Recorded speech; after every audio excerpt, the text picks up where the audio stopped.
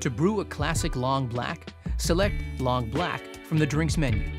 Insert and lock your tamped portafilter into the group head.